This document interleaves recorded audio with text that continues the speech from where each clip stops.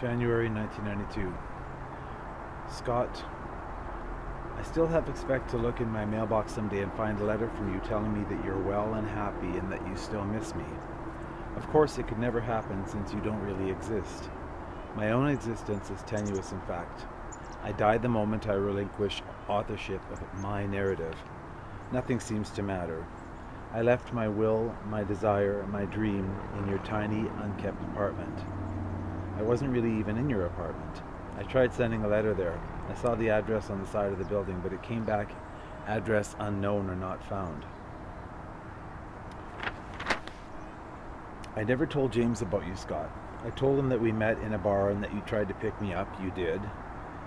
But I never told him that I went back to your apartment. He would think me reckless and promiscuous, therefore less attractive as a potential life partner. Your disappearance has made it lots easier for him to deal with this great ghost story, which really happened. We actually looked for your name in the Las Vegas telephone directory in August. Needless to say, your name wasn't to be found. I thought it odd to have James join me in a search for a ghost for whom I cried for months and almost did today.